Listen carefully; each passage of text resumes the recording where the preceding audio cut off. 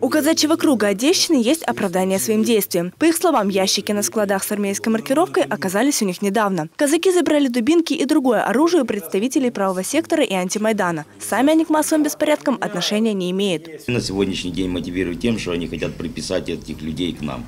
Хотя мы на тот момент стояли и держали облсовет, чтобы там не было никаких погромов и всего прочего. По словам казаков, они по-отцовски поговорили с молодыми людьми. Оружие отобрали, чтобы те никому не навредили. А себе оставили на всякий случай. В хозяйстве все пригодится. Ольга Китик, Алексей Мараховский, Думская ТВ.